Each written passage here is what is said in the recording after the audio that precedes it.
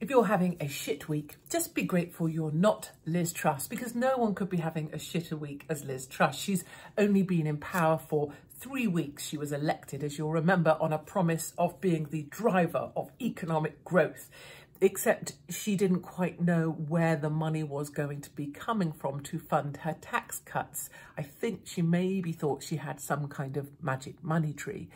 And so she announced her tax cuts without knowing where that money was going to come from to replace that income. The markets reacted with horror. The pound collapsed, reaching parity with the dollar. Thanks very much for that, Liz Truss, while I'm in America.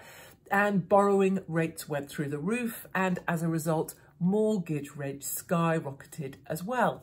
Liz Truss's popularity took a nosedive. She's now on negative 55, one of the lowest popularity ratings ever, and she's done the impossible, which is managed to make Keir Starmer look like some people might just about like him. She's achieved the one thing no one could ever achieve in the UK, which is to be slightly more hated than Meghan Markle. This week, she's had to ditch her tax cuts that she was elected on. She's had to fire her Chancellor, Kwasi Kwarteng, who turned out to be a bit more Kwasi can't.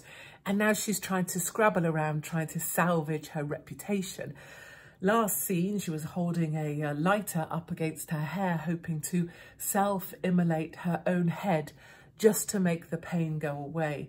And that's all within four weeks of becoming Prime Minister of Great Britain. What a truly great time to be alive.